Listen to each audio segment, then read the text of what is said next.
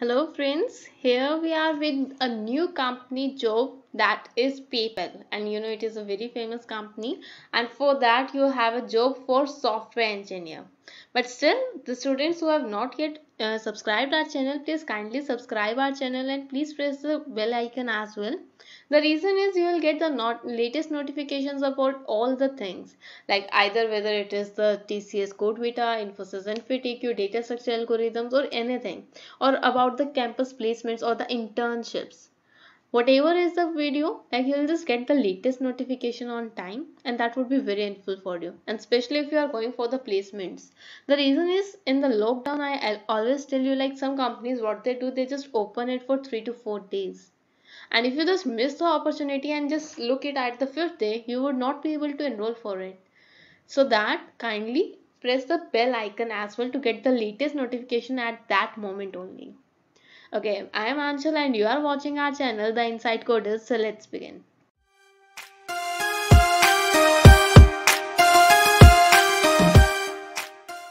So here it is the paypal company and you can just read about the company. It is a very good company and these are the like things that you can just go through it. You can just post the video and look at it.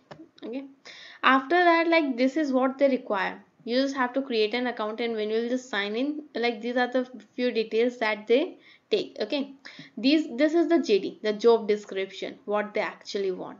They want a full stack software engineer for this platform. And after that like what is the thing? They need sdlc most important design development testing coding review and release right? And after that like uh, what else? It's written here and it's the subsidiary is paypal and there is no travel person it's zero. And these are the primary locations in india bangalore okay? And after that like what else? Just go through it. If you want to apply for it simple as simple as that. Either go through apply with linkedin because the best part is you don't have to fill all the profile all the details. It will fetch from the linkedin and rest if you want to make any changes or anything else just you can write it manually. Else just go to this apply.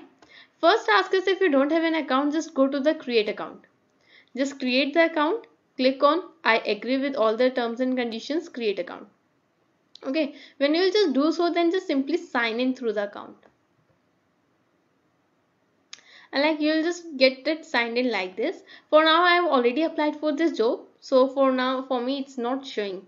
But still if you'll just apply with the other id you have to fill the profile. In profile you just have to fill the name like what are the things what are the projects that you have done. Like you have to create the complete profile. So the better option is to go with the linkedin if you have that because you need not make the complete the whole profile yourself. The best part is it will fetch from your resume or from your linkedin profile okay? Just uh, like fill all the details submit your resume uh, if they need the picture or whatever requirements they need and click on the submit button. And you will find a thank you like uh, image like for that that you have already applied for it and you will also receive a mail for that. So this was a simple technique like to go for it but you have to update your profile and it will also take time. So better to make it using uh, like fetch it from the resume or from the linkedin profile just go through it. If you have any of the problem like how to enroll for it if, or you are not able to understand that either contact us on our telegram channel or better like mail us for any of the doubts or you can just simply ask it in the comment box as well